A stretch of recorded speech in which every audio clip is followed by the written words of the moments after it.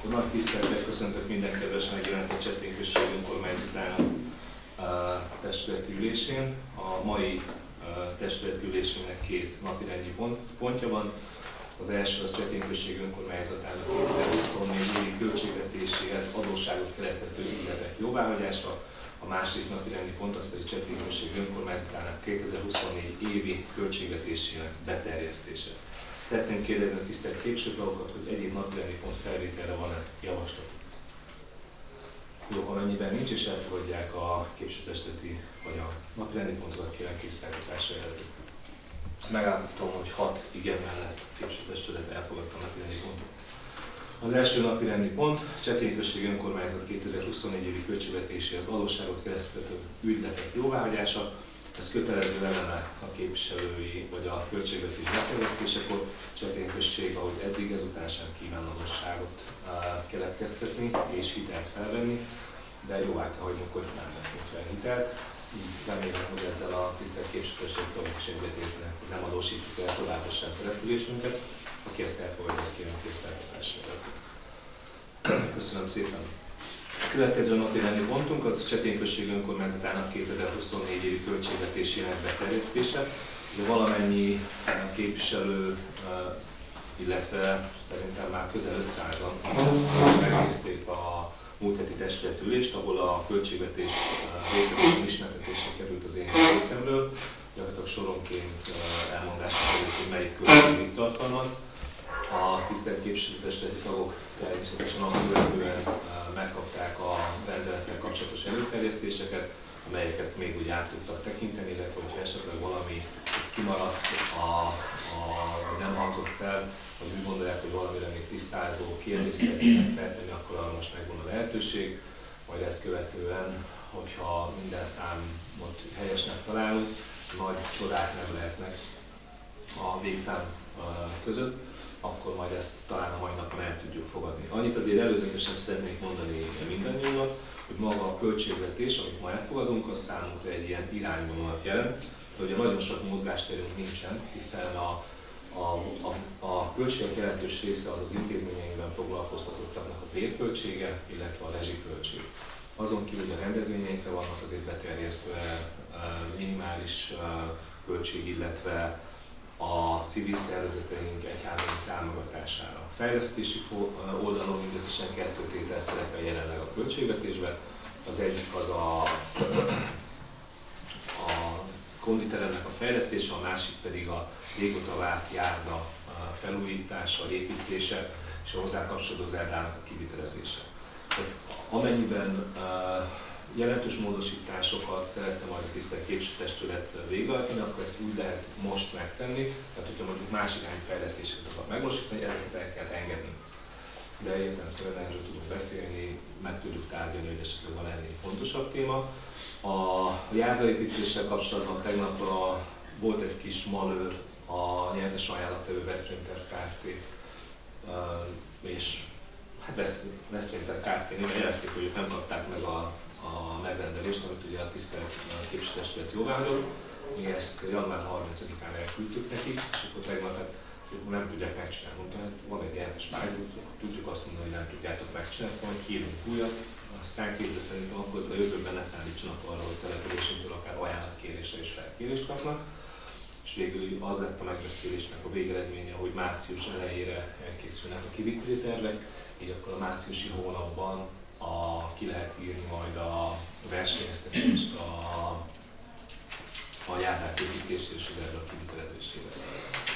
Nekem nagyobb, bővebb mondani való most jelen helyzetben szerintem nincsen. Láttam azt, hogy a képviselők készültek, esetleg vannak kérdései, azokat szerintem tegyük fel, és akkor arról beszéljünk, majd azt követően, hogyha a szavazásra alkalmasnak tartjuk a, a megmutatott tételeket, és akkor döntsük a 2021-es költségvetés elfogadásáról.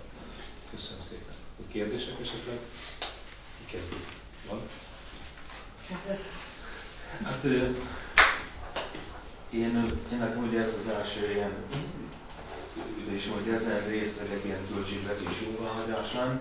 Itt igazából olyan, olyan nagy számok szerepelnek, meg amit annyira tökéletesen nem tudok átlátni, meg vannak egyéb kiadások, próbáltam azt összerakni, hogy azokban még férnek vele, meg tehát annyira számunkra nem értelmezhető ez a, ezek a számösszegek, és itt teljesen nem látok benne tisztán, ezért én, én ezt, a, ezt a költségvetést én nem támogatom, nem, nem tudom támogatni. Biztos, hogy ne, tehát, tehát az, hogy nem akarok se hülyeséget megszavazni, se Jó. Akadályozni nem akarom a, a továbbhaladást, de viszont nem akarok rosszul dönteni. Úgyhogy nem is volt annyi időm, hogy még jobban átértelmezzem, segítséget nem tudtam kapni hozzá, hogy, hogy jó tisztán lássak, mert én, én ezzel most nem, nem el fogok szavazni. Jó, hát a saját érdekem, Szerintem igen, Erika? Nekem is van kérdésem. Az egyes számú melléklet bevételek oldalán van egy olyan, hogy szolgáltatások ellenértéke 68 millió forint. A kiadás oldalon ez a 68 millió leasingdíj, mik ezek? Ez a Balogh a Kft-nek a telepének a bérleti díját az átmenő tétel, ezeket tőle elmondtam a legutolsó testületülésen, és ez kiüti egymást, tehát ennek alapvetően a költségvetésünkre sem pozitív, sem negatív hatása nincsen. És meddig, meddig van ez a bérleti díj? Vagy 2025, 2024. december 31-ig. 2024. Van az eredeti szerződés, és azt követően a 2021. december 31-ig van a jelenlegi díjszabás, és azt követően 2029. december 31-ig van, de akkor ismételten elmondom, hogy ennek a költségvetésünkben semmilyen hatása nincs. És de, bocsánat, hogy belevágtam a szalba, de ez azért ez, figyelj, akárki lesz a polgármester, ez a megállapodás, ez egy érvényes, és az önkormányzat valamilyen szinten el van kötelezve a díja, bérleti díja. Nem? Tehát folyamatosan a... 2029-ig ez Abszolút. A bérleti díjnak két oldala van, ami esetünkben az önkormányzat egy köztes szereplő ebben az ügyletben a Balluf Elektrikakártya nem kíván szerződni a gazdaságtársággal, ő azt gondolta, hogy az önkormányzattal kíván szerződni. Amit én magam sem uh, tartottam jó ötletnek, de ettől eltérni nem lehetett, hiszen ez az ő akarat, amit bérlő. És ugye az önkormányzaton valójában oda-vissza átfolyik. Tehát amit mondtam, hogy egy tranzakciónak a közepén van az önkormányzat, a Balufrátumok Kft. nekünk bevételt ad, az önkormányzat viszont azt a bevételt kifizeti a magyar építetőjének, akinek ezzel költségei vannak. Ez egy három oldalú megállapodás, amit a képviselőtestület is jóváhagyott, és hála Isten tavaly évben meghosszabbítottuk, és 2029. december 31-ig biztosított az üzemnek a működése. És ennek ez a legfontosabb mérföldköve, hogy a közel 100 főnek munkát adó csekély üzem biztosítva van 2029-ig. Abban a gazdasági helyzetben, válságban, amiről jelenleg Magyarország ma van, ez egy olyan értékű szerződés, ami kimondottan jó mindenki számára.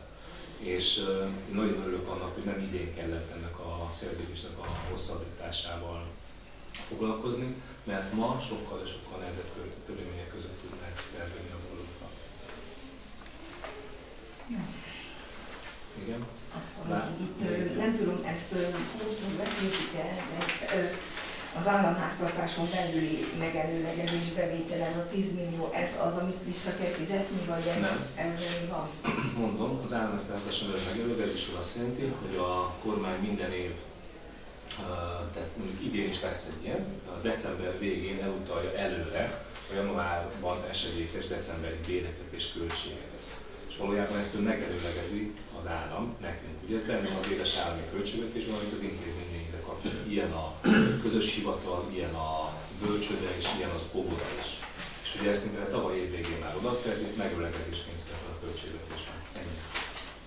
Akkor az egyes számú melléklet a kiadás oldalán, ez a 95 millió, Igen. Az, az mi? Beruházások. Beruházás, 95 millió forint, ugye elhangzott mindent hogy annak a másik oldala, a bevétel oldala 120 millió forintán, gondolom ezt is sikerült felfedezni, ami a Törekvés utcában lévő telkeknek az értékesítéséből adódik. A 95 millió forint pedig hogy az a költség, amire azt becsüljük ma, hogy annyi lesz a telkeknek a közművesítésének a költsége. Az egyes számú melléklet hátoldalán van egy olyan, hogy béren kívüli juttatás 6,9 millió, az mi? Véden kívüli juttatásnak minősül a kafetéria. Kötelező elem, állam előírja, minden állami intézménynél adni kell. Ja. Ez, ez nem egy fő, ez sok fői. És akkor még Három, bocsánat, három intézmény. Óvoda, bölcsőde, önkormányzat. A szociális ilyen gyermekjóléti feladatok, ez a 105 millió, ez nem sok egy kicsit. Állam adja közvetlenül, abban a 105 millió forintban, hogy múlt héten is elmondtam, benne van a bölcsődenek finanszírozása, meg benne van a szociális étkezések, gyermekétkeztetés finanszírozása is, és a családsegítő szolgáltás van benne 6 millió 501 ezer forintra. És a, de a gyermek ét- étkeztetés az nem arról volt hogy a zöld babonnak át van adva? Hát de ettől függetlenül az megvan kiadás és bevétel oldalon. Az állam ezt belül átadandó pénzeszközként is megjelenik. Jó, hát, így elmondod. És egy Jó, köszönöm. szívesen. Esetleg még valakinek Én az előbb jelentkeztem, Bocsáss meg. megraktam a választ, mert engem is az érdekelt volna, hogy ez a 6 millió 9, hogy kafikéria a 16. a V nem az fizetés alapján, de most már megkaptam a választ, hogy mi van benne, értem. Annyit tudni kell, hogy 16. havi fizetést sosem tervezünk. Igen. Azt, hogyha az év során sikerül gazdálkodni, hogy belefér az intézmények költségvetési sorába, akkor évvégén szoktunk adni valamilyen módon hát, juttatást. 13. havit nem, annyi még sose fér bele. Tehát inkább egy két havi. Jó, De csak ugye ez mindig függ attól, hogy az éves költségvetéseket hogy tudjuk uh, alakítani, és ugye amit uh, képső asszony is kérdezett tőlem, vagy a csoportba kérdezte, hogy módosíthatjuk-e. Ugye elmondtam az elején, hogy ezek a sorok alapvetően irányadó sorok, módosításra mindig van lehetőség. A legegyszerűbb módosítás az a tartalék történő módosítás, hiszen a tartalékot azért képezzük, hogyha valami nem várt esemény van, akkor azt tudjuk finanszírozni. A költségvetésünk különben szerintem hosszú évek után először tehát ki lehet mondani azt, hogy tényleg nyugodtabban lehet neki menni a 2024-es évnek, tehát 23, 22, 21, 20, 20-nak nagyon nyugodtan mentünk neki, csak februárban a költségvetés elfogadását követően jött a balborok, gyomorütés, kiütés, amikor a költségvetés elfogadását követően az állam úgy döntött, hogy elvonja a gépjárműadót. És bele volt, ki volt tervezve a költségvetés. Aztán ugye még azt is túléltük, az nem volt az sem egyszerű feladat, hogy a tavalyi év sem volt egyszerű feladat a rezsiválság miatt, de idén ugye tényleg a, a közgaz- közgazdaság, közgazdaságtani feladat, hogy a bevételeket alulkiadásokat felültervezünk. Van ebben is most egy olyan sor, hogy 1 millió forint felett összeget terveztünk az IC járási önkormányzati társulásban évente odaadandó pénzeszközre. Most uh, 8 óra 30-at mentem az IC-re, mert én vagyok a járási hivatal, vagy a társulásnak a pénzügyi bizottságának elnöke, ott is most átjönnek a költségvetést. Tegnap adtuk meg nem úgy volt, hogy múlt héten elmondják szóról szóra, de megkaptuk, már átnéztük, és annyi öröm, hogy 421 ezer forint az önkormányzatnak a 2024-es pénze, tehát mondjuk itt már van egy 600 ezer forintos megtakarítás majd, ami látszani fog majd fél évkor, lesz egy ilyen újabb körös elfogadás, hogy megnézzük, hogy terv tény alapon hogy áll a költségvetés, otthon, amikor megnézzük, csak hogy a mondjuk képviselő is kicsit nagyobbak a számok. Jó? Jó, esetleg kérdés? Inde? Nekem olyan kérdésem lenne a létszám. Tehát ugye egy kis tájékoztatást, Jó. hogy A hivatal meg a test, tehát ami az önkormányzathoz tartozik. Oké. Tehát ugye van itt a hetes mellékletben létszám. Ugye a létszámok meghatározása úgy van, hogy ezt az államtól kapjuk meg, hogy adott feladat ellátására mennyi főt lehet foglalkoztatni. A Kovács Pajos tanár nekem egyszer adott fekete pontot, de lehet, hogy egyes, mert a megoldásomban az volt, hogy két és fél ember. És tudjuk azt, hogy fél ember nincsen, amit 0,2 sincs. De az állam ugye a normatívákat úgy számolja ki, hogy ha ennyi feladatot látsz el, ekkor a lakosú a, az, az, a település, akkor ennyi fő jár a hivatali ügyek elintézésére. Azt hiszem, hogy ez a közös hivatalnál 7,5. 7,5 54. kerekítés hiba volt 7,5. Jó, köszönöm. A, Hát, hogy ennyire pontosan. Igen, igen, igen. És ugye ugyanígy van a bölcsödénél is, ugye megvan szabva az, hogy hány csoportszobád van, hány csoportod van, abban mennyi a minimum feltétel, és akkor, hogyha átlépsz bizonyos szintet, akkor ott a talán pedagógiai asszisztens be pluszban, mint segítő lehetőség, és ugyanez van az, az óvodánál is, ahol ugye három csoport létszám, és akkor ez kapjuk meg a, a finanszírozott összeget. Ugye ezeket a béreket lefinanszírozza az állam. Tehát mi ezeket ugye ugyanúgy, mint a bérleti díj, köztes szereplő az önkormányzat, átjön az önkormányzat, és meg tovább az önkormányzati társulás, az ahonnan a bérek kifizetésre kerül. Uh, eddig még soha nem léptük túl azokat a kereteket, amelyeket az állam biztosít az önkormányzat számára, mint bér. Így van lehetőség arra, hogy évvégén, hogyha okosak és ügyesek vagyunk, akkor esetleg egy-két havi, uh, vagy egy-két heti uh, juttatást tudunk még adni a kollégáknak. Az önkormányzatnál két személy dolgozik, a, a, ugye a családsegítési szolgáltással, amire úgy szintén központi állami támogatást kapunk, ugye van a kultúrás feladatok ellátására is kapunk központi támogatást, amire úgy szintén alkalmazotti státuszt tartunk fent, ugye Timi személyében, mint kulturális referens, és megvilágosodott tegnap valami túlképzett, remélem majd nézi a felvételt, hogy Timinek a nem tudom hány diplomája nem elég a feladat ellátásra, ezért el kell végezni néhány napos tanfolyam, de azt hiszem van majd rendszerrel továbbra is. Tessék? Építés. Hát ezt adjuk. Tehát szerintem a Tini oktathatná, nem őt kéne oktatni.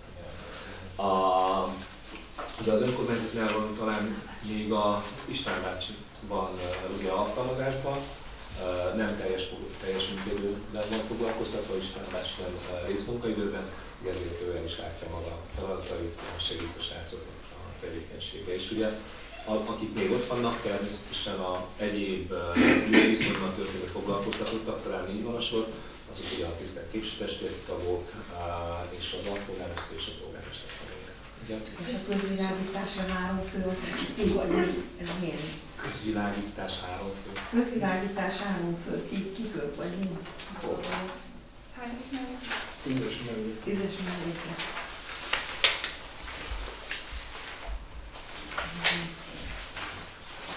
Azt szerintem csak egyre.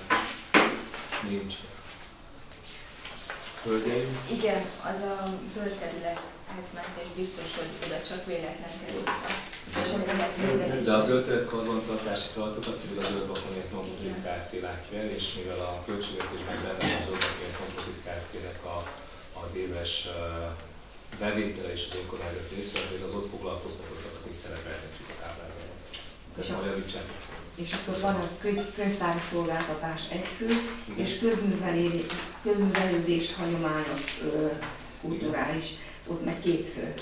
Ott az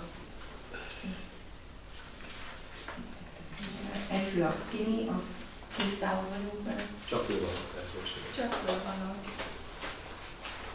ez, ez, nem, van. ez nem változtatja azokat a bírsorokat, amelyek a később Fő, fő.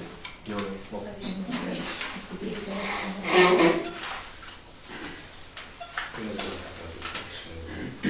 Csak nekem is adott egy hogy kötelező felhúzott ellátás összesen 53, azt ugye a 7-es mellékletben mi vagyunk 27-en.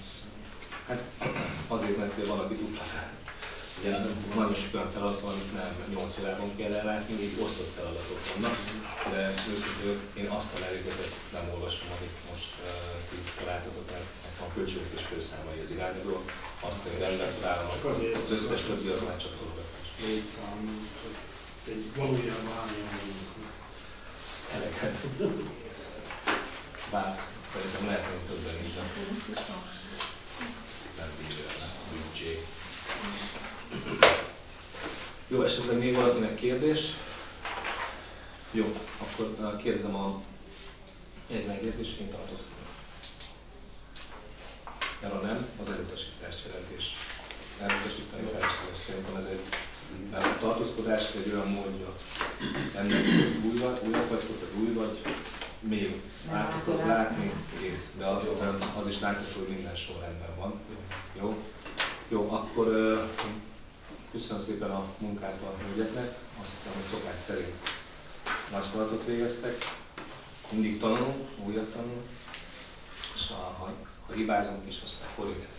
Béliktól, a évvégén, de azért ahhoz szerintem hatalmas szerepe van az önkormányzati dolgozóknak és a jegyzőasszonynak is, hogy olyan fegyelmező gazdálkodással neveli az intézményt, ami segítse tényleg abban, hogy tényleg bármilyen negatív hat, külső hatás van, mégis mindig stabil maradjon a gazdálkodás. Tehát, hogy mi esetünkben a Covid-ban nem tudom megbocsájtani, hogy elköltöttünk 18 millió forintot megelőzésre, mert azt mondta az állam, hogy majd megkapjuk, és azt mondták, hogy visszakapjátok az időzési adót. Például. De hogy azt is tudtuk. Tehát azért nagyon sok energiát tettünk bele 2020-21-ben, hogy a lehető legkisebb veszteséget szenvedje a település, sajnos így is jó néhányan elmentek benne, de nagyon-nagyon igyekeztünk.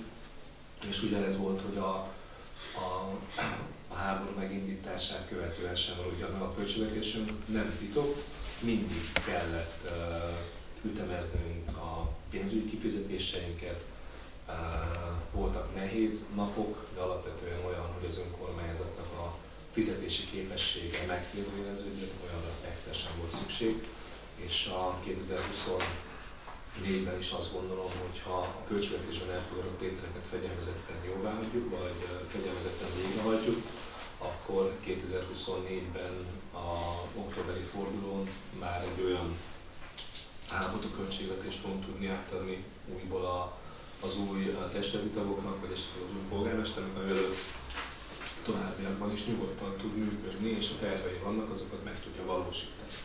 Hiszen a 2014-ben, amikor októberben mi megkaptuk a lehetőséget arra, hogy a települést fejlesztjük és irányítsuk, nagyon nagy különbség volt sok néhány önkormányzattal szemben, hogy volt lehetőség gondolkozni, tehát nem adóssága volt az önkormányzatnak, hanem minimális, és tényleg nagyon-nagyon minimális, de megtakarítása volt. És ugye most is ez lesz az idejének az egyik alapvető célja, hogy az önkormányzat gazdálkodás mindig ilyen stabil legyen, hogyha bármilyen változás van, akkor az ne azt mondjuk, tüzet kell oltani, mert ilyen még nem volt, hanem azt mondja, hogy jó, akkor a programon végrehajtására elektronik kezelünk, van rá félretett pénz. Nem sok, de lesz. Jó, akkor én szeretném feltenni a mai nap fő kérdését, hogy a tisztelt képviselőtestvéreknek, akik a költségvetést elfogadják, azt kérem készfeltartásra jelezzük négy igennel, akik nem fogadják el, Tartózkodok. Oké, és aki tartózkodik, kettő tartózkodik. Nagyon szépen köszönöm a tisztelt megjelenteknek akkor a munkát. Ugye alapvetően ez már szerint egy formai ülés volt, hiszen múlt héten tényleg többről hegyire az utolsó fillérig átbeszéltük ezt a költségvetést.